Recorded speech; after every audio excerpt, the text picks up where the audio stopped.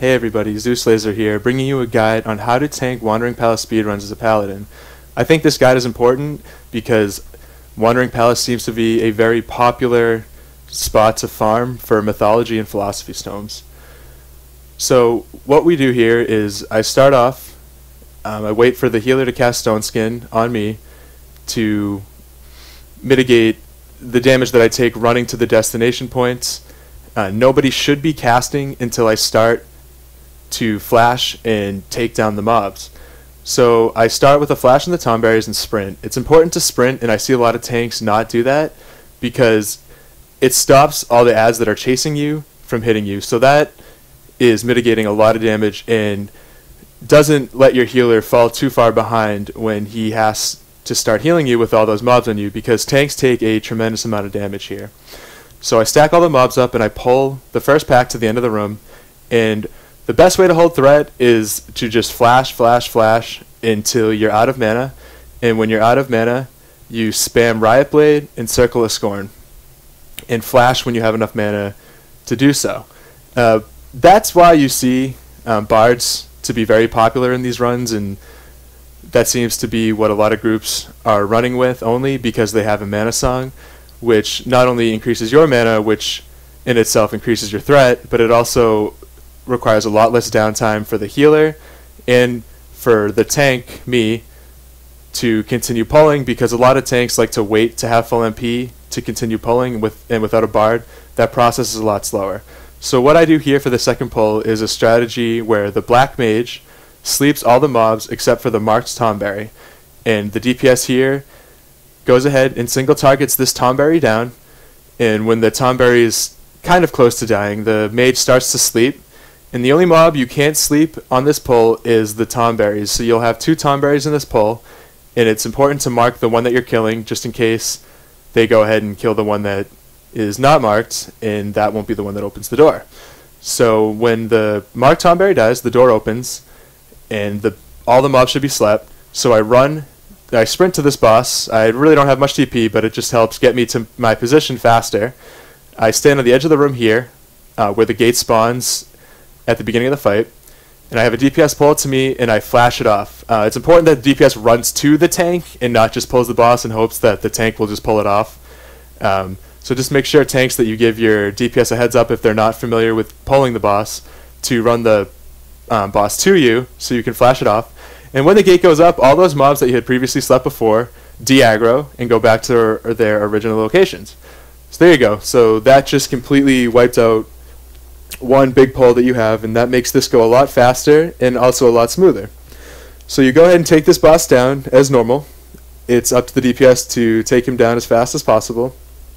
And the reason why I just keep him here is because while the DPS and healer were waiting for the mobs to despawn, they probably already positioned themselves to where they want to be uh, starting the boss. So I just keep him here. And when the boss is about to die, as you'll see in a second, um, I pull towards the other end of the room. That way I'm ready to go ahead and run up and hit that device the second the boss dies. And when I know that I have threat or decent amount of threat on the boss, I go ahead and start being conservative with my TP and my mana. So I have enough TP to be able to sprint all the way up to the next pull, which is from the start of the room all the way to the end of the room. So fast forward here um, to the beginning of the next pull. So I'm at the end of the wall here. The boss is about to die, and I go ahead and run and hit that device while I wait for the DPS and the healer to catch up. Hit the device, and at this point, I'll be about halfway on TP, or about 600, where that's a perfect amount of time that you need to sprint. So I start to sprint right after I pull this first Tonberry. Um, you don't need to flash all the mobs that you run by because nobody should be casting until you start until you stop, rather, to start holding aggro on all the mobs. So I sprint to the next set all the way to the edge, and I'm ready to stop, and I have my cooldowns up uh, to make it easier on the healer to catch up when I have all these mobs on me. And once again, I just spam flash until my mana's out, and then once again, I just spam Riot Blade and flash on cooldown when I can, when I have enough mana to do so. So as you see here, the mobs in this pack start to cast um, abilities that the tanks can dodge. So what I recommend to do is put your camera angle above you because sometimes it can be difficult to see with the bard circle down. So I just go ahead and I can basically just mitigate all unnecessary damage that um, I could potentially take, but that could also kill me. I mean, healers can heal through it, but if your healer is not as experienced as other healers could be, it could be a turning point for your run. You don't want any wipes, obviously, in doing a 10 to 12 minute run. So I pick up the Lantnors with the healer while the DPS goes and position themselves to devices. So the door's open and I'm ready to pull for um, the next set.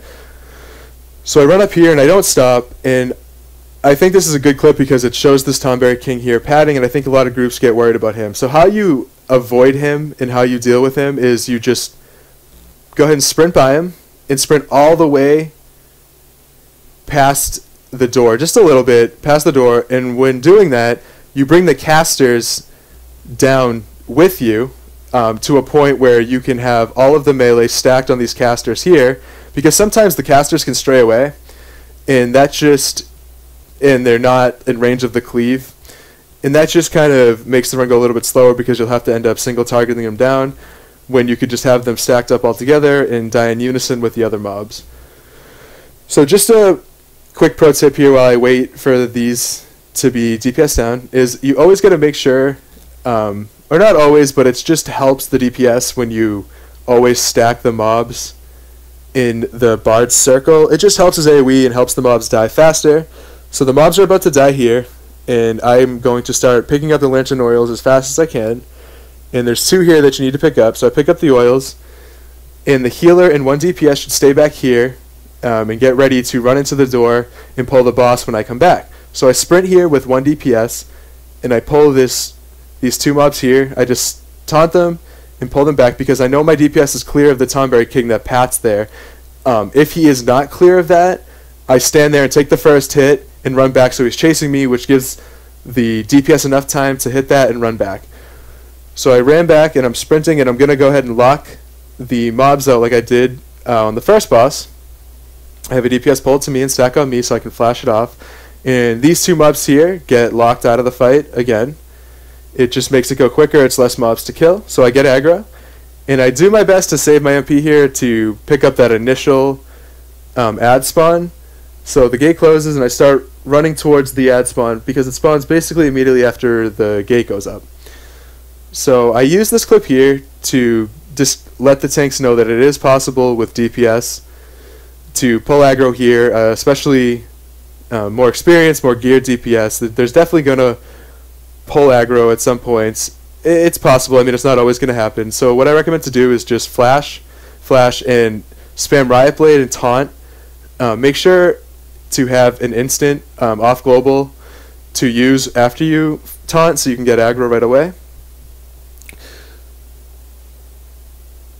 So we just proceed to kill the boss as normal, and um, depending on your DPS, you might not get a second set of ads, but if you do get the second set of ads, you want to keep them more towards the middle of the room because you can just so you can just pick those ads up right away and have the DPS cleave them down. Or if the boss is close enough to die, you can just hold the ads and nuke the boss down.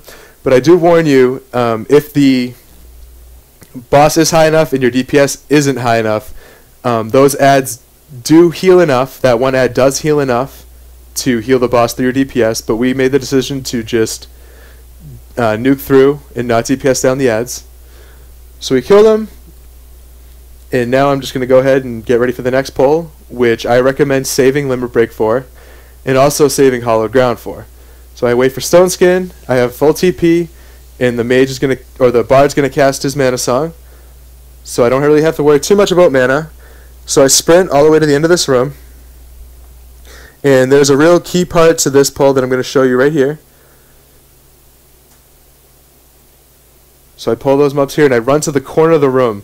The reason you run to the corner of this room is so you can line of sight those casters and bring them to a stacking position with all the other mobs so they can be cleaved down and they can be within range of the limit break. After I see the casters, I reposition myself so I have a clear angle on what I need to dodge.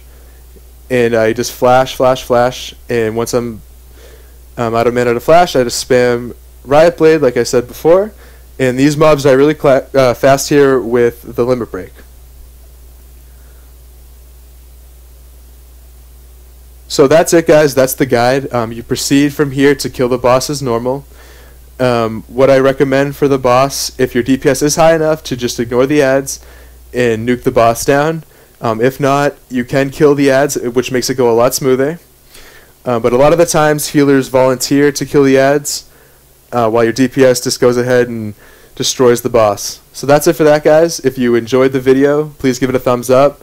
If you want to see future content on strategy, guides, and I'm also going to add um, a section of just random videos and just to add some comic relief to the gaming world. It should be a lot of fun. Uh, I hope to hear from you guys. Leave in the comment section below if you like the video or recommendations for future videos. See you all next time.